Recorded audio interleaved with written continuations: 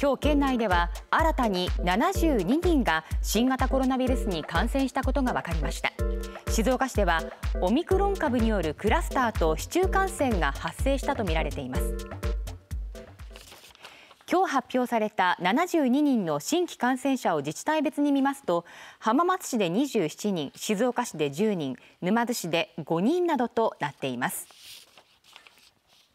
本日1月11日までに保育従事者5人。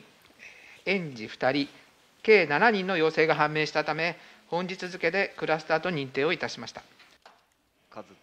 静岡市では清水区内にある私立こども園で職員5人と園児2人が感染しクラスターと認定されました。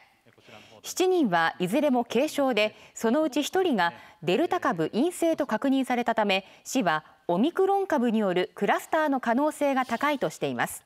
また静岡市内でこれまでに判明した感染者のうち18人がオミクロン株だったことが分かりました。